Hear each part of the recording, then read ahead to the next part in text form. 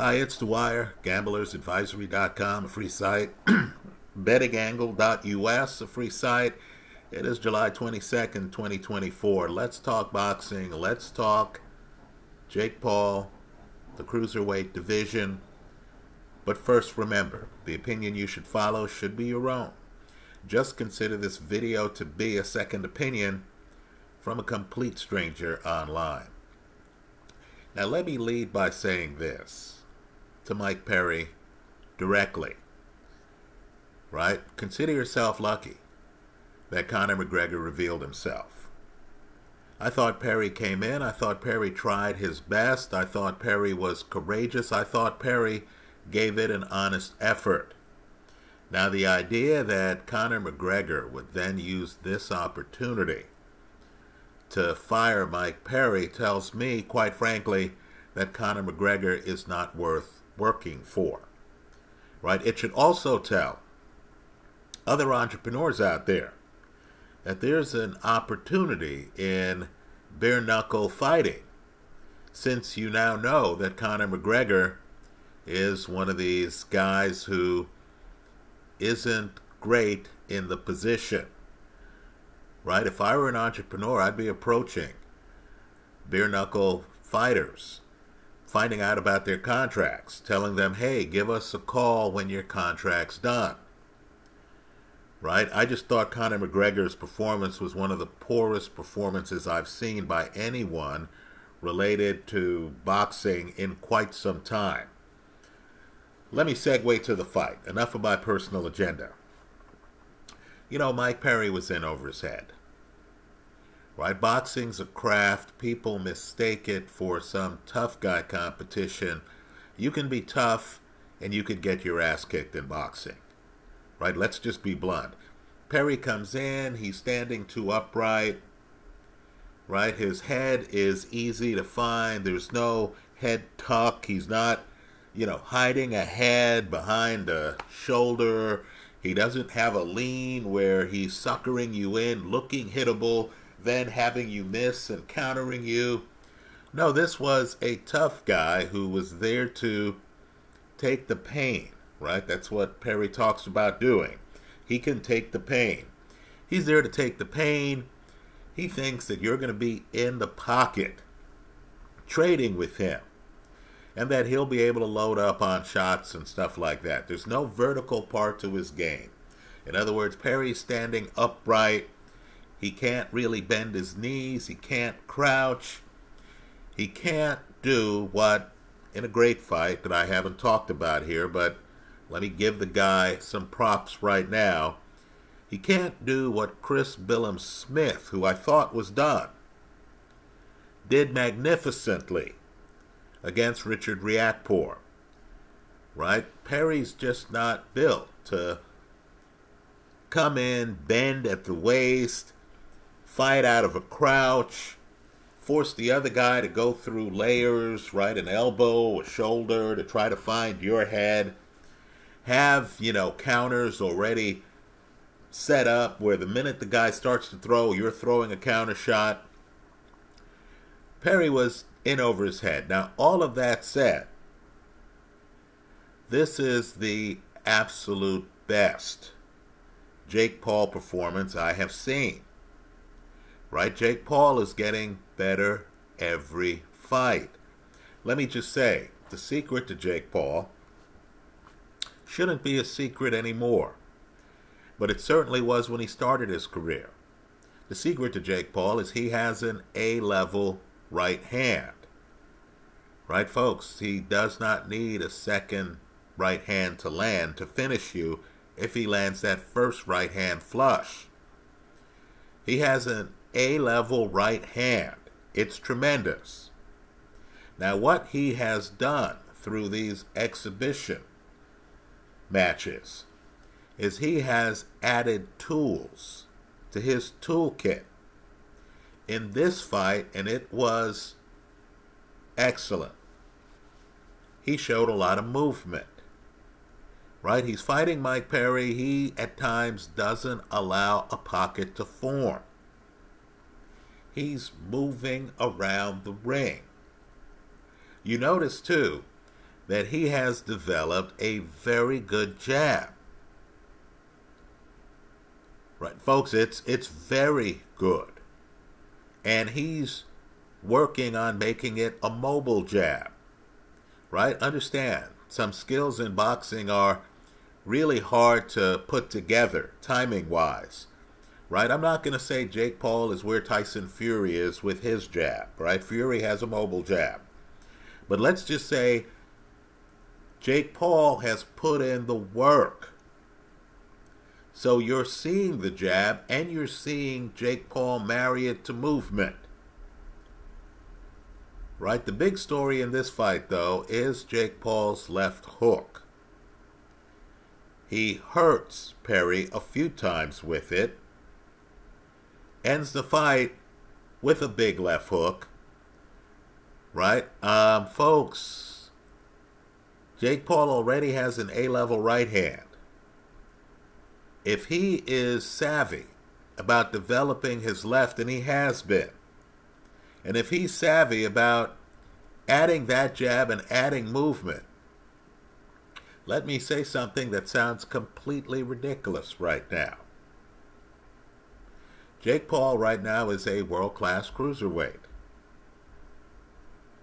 Right now, let me say he's going to have problems jumping up and winning the division, right? Because this is Jai Opetaia's division. With Opetaia, you're talking about movement, speed, southpaw.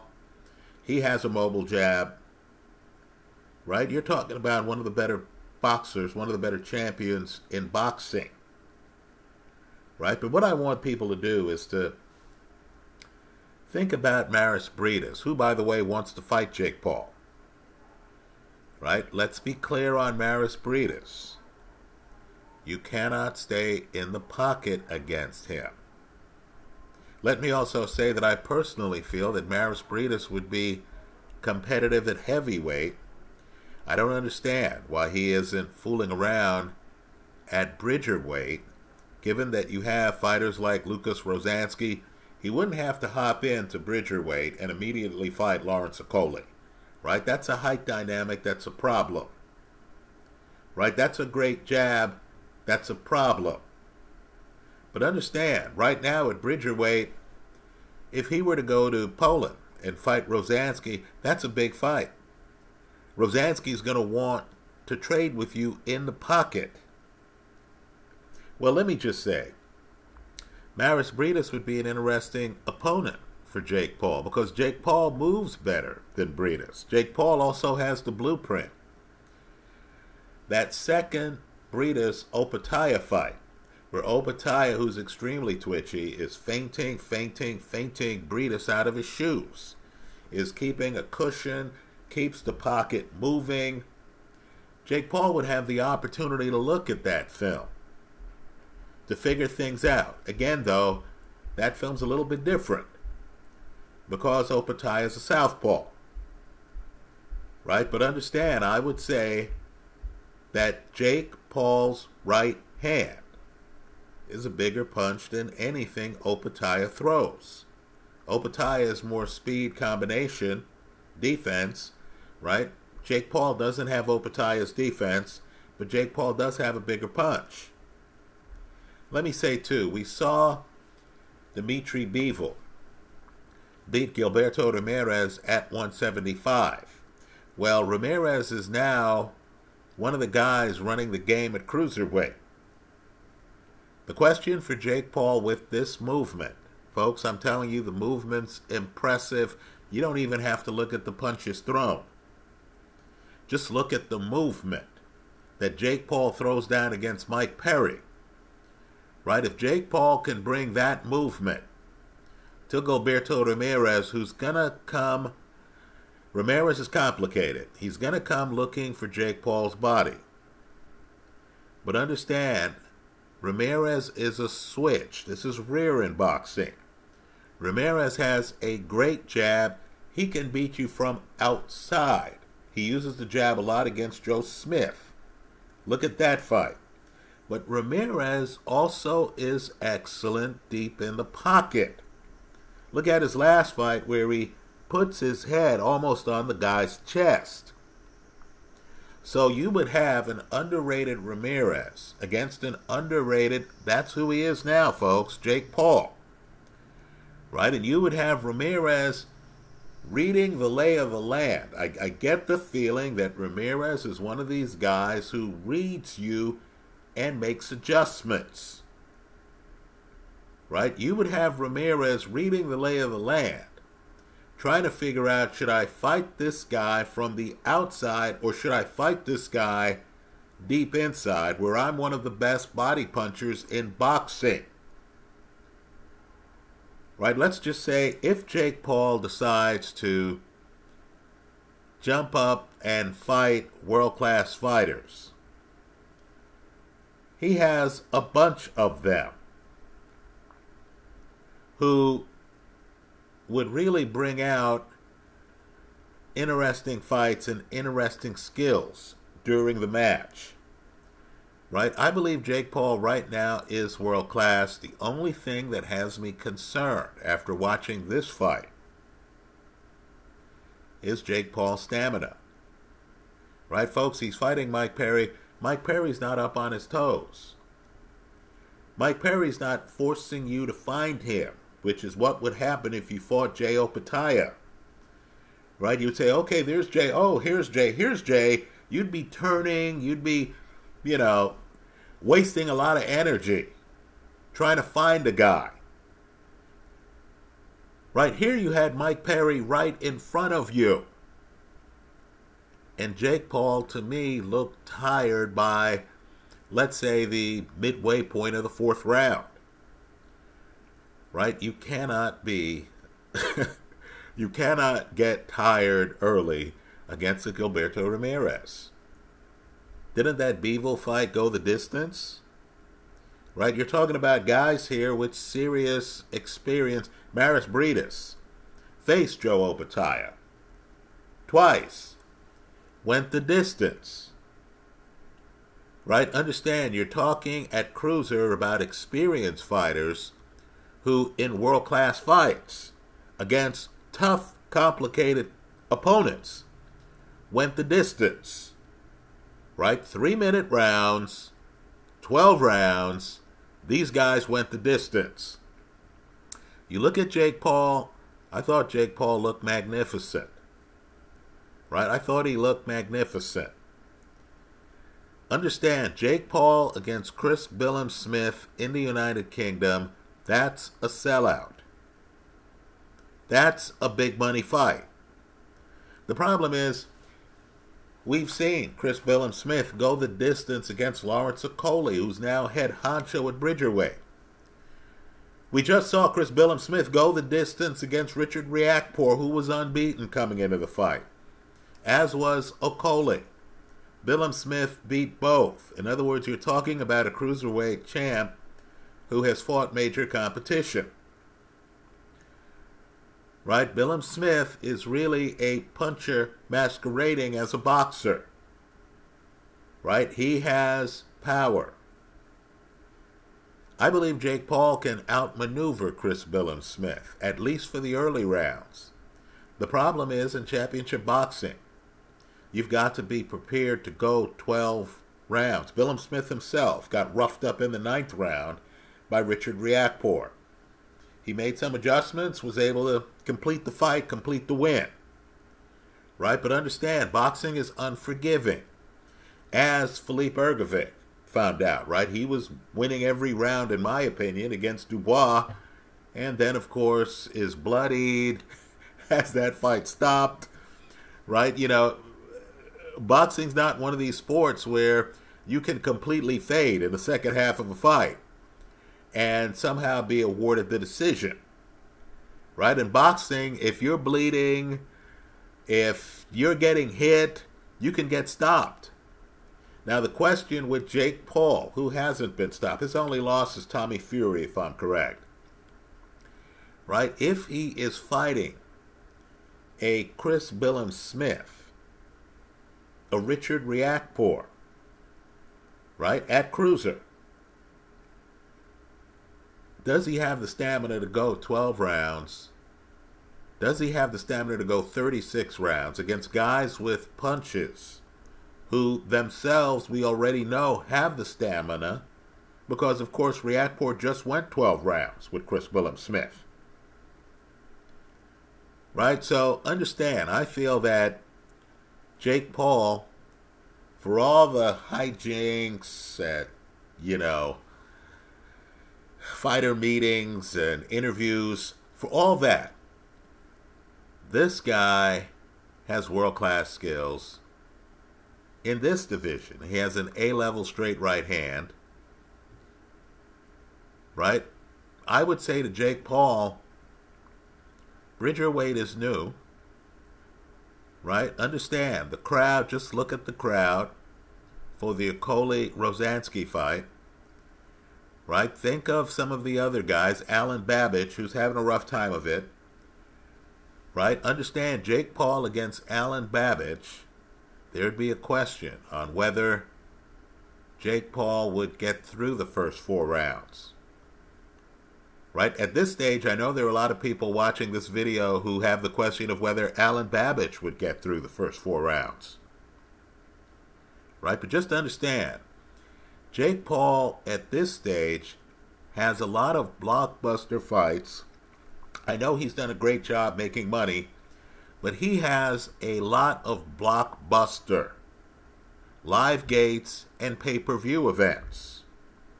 If he can deliver on the promise by actually being world class. He has the following.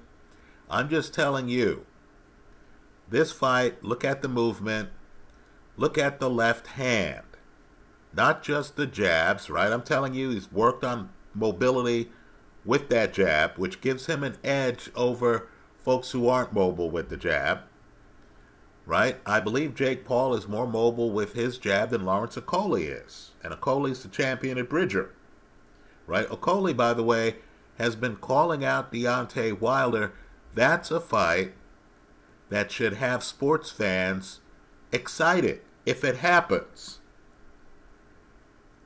right? Well, let me just say if in fact Jake Paul can privately, behind the scenes, and he clearly has been doing a lot of work in the gym, if he can develop the stamina where he and his corner are convinced he can go 12 rounds against a Jai Opetaia, a Maris Briedis, a Richard Riakporhe, a Mikaelian, right? If if he's convinced he can do that, then we're in for a huge treat because folks, the players are at cruiser. Right? That's an entertaining division. Right? That's a division you know, um, the guy who uh, Mikaelian just beat. Forget the guy's name. He's a shorter guy uh, from Africa. Right, folks? Jake Paul can beat guys like that because of the foot speed, because of the ring coverage on his left hook. That's, of course, if Jake Paul can go 12 rounds. Right, so give this Mike Perry fight a look. I understand. Perry isn't a boxer, he's a bare knuckle guy. I get it right? I understand most boxers would be in there with a little bit more sway, uh, up on their toes, a little bit better movement, um, harder to hit, right? Different mindset than bare knuckle, right? You know, in boxing, that head's on a swivel, right? We understand all that. But Jake Paul looked magnificent, right? The left hook that practically closes the show here Look at the coverage on it. Look how far away Jake Paul is when he throws that left hook. Uh, realize that the guy is able, well, what he's been working on is movement with his shots, right? I'm going to save the Mike Tyson fight for premium subscribers, right? That's a fight you need to watch. Not just from an entertainment perspective, but from a boxing perspective, because I believe that fight is going to have repercussions. We'll talk about it when it happens. Just know Jake Paul right now, in my opinion, is world class. He still has to pick his opponents carefully. If he just wants a payday, let me just say Jake Paul against Jai Opetaia, that's a sellout in Australia. Folks, that's a fight I believe would easily top 800,000 pay per view buys. Right? I think that fight, from a stylistic perspective, would be interesting to watch. Right? I'll say this while I would expect Opetaia to win that fight, he'd have to be mindful of Jake Paul's right hand. He'd have to be mindful, believe it or not, of Jake Paul's left hook. Those are my thoughts. Let me hear yours in the comment section of this YouTube video. Thanks for stopping by.